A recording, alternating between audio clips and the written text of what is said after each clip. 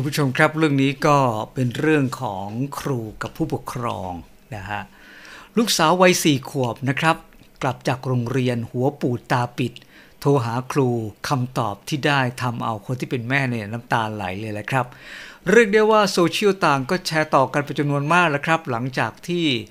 มีผู้ที่ใช้ Facebook รายหนึ่งได้โพสต์ข้อความระบุว่า กลับมาหากลับมาหาลูก6โมงเย็นเจอลูกสภาพนี้ค่ะ คือลูกเนี่ย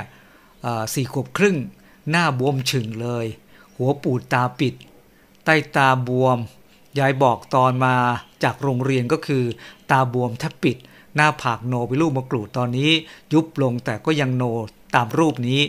นี่เป็นครั้งที่สองที่น้องเจ็บตัวจากการไปโรงเรียน โทรไปสอบถามครู ครูก็บอกว่าไม่เห็นตอนน้องเจ็บ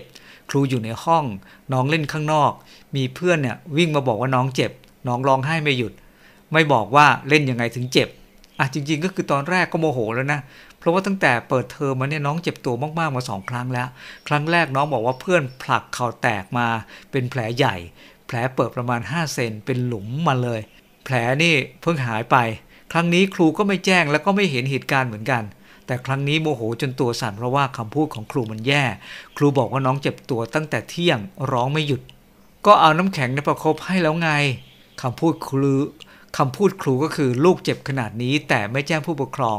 ไม่พาไปหาหมอ ให้เด็กนั่งร้องไห้ นั่งทนเจ็บจนเย็น ตอนยายไปรับตอนเย็น น้องยังร้องไม่หยุดเลย น้องบ่นว่าปวดหัวไม่หยุด เราก็บอกว่าทำไมคุณครูไม่แจ้งผู้ปกครอง จะได้พาน้องไปหาหมอ ครูบอกว่าไม่ทันคิดค่ะ เราก็บอกว่า แล้วถ้าเราพาน้องไปรักษาไม่ทันเนี่ยน้องเลือดข้างกระโหลกแล้วเนี่ย หาหมอไม่ทันแล้วจะทำยังไง ครูก็บอกว่า แล้วน้องเป็นแบบนั้นหรือยังคะ เราก็บอกว่าคุณครูพูดอย่างนี้ได้ยังไง มันชีวิตคนนะ ชีวิตลูกเราทั้งคนนะ การตัดสินใจการดูแลครูแย่มาก ครูก็บอกว่าขอโทษแล้วกันค่ะ น้ำเสียงรำคาญแม่ ไม่มีน้ำเสียงรู้สึกผิดเลย และครูก็จบการสนทนาด้วยประโยคที่ว่า ถ้าไม่ไม่พอใจก็เข้าไปเจอที่โรงเรียนได้เลย คือแบบโมโหจนตัวสั่นน้ำตาไหล มันเป็นแบบนี้นี่เอง โรงเรียนมันไม่ใช่สถานที่ที่ปลอดภัยเหรอ อุบัติเหตุมันเกิดขึ้นได้ เล่นเจ็บได้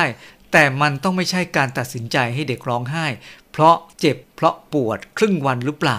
แม่แม่คนอื่นว่าไง เราเป็นแม่ที่คิดเยอะคิดมากไปหรือเปล่า จากปากลูก ลูกบอกครูเอาน้ำเย็นมาเช็ดให้ บอกให้หยุดร้อง แล้วก็บังคับให้นอนหลับ เด็กหัวปูดตาปิดขนาดนี้ไม่คิดจะสังเกตอาการเลยเหรอบังคับเด็กกลับเนี่ยนะ